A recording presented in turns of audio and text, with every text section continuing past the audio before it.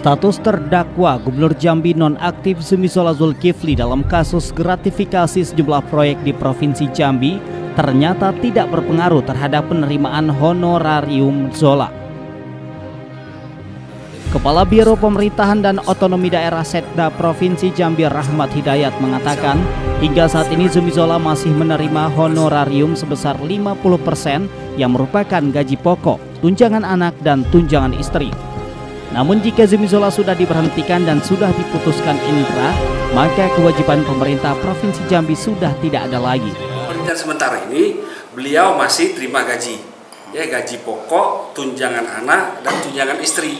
Nah, yang lain-lain itu sudah tidak ada lagi, stop. Nah, ketika beliau sudah diberhentikan, uh, sudah putus inkrah itu semua hak kewajibannya putus. Sebagaimana diketahui, Gubernur Jambi nonaktif Zumizola Zulkifli didakwa oleh jaksa KPK menerima gratifikasi 44 miliar rupiah dan Toyota Alphard. Pada sidang yang digelar di Pengadilan Tipikor Jakarta pada Kamis 23 Agustus 2018. Datu Trakas, Jambi TV.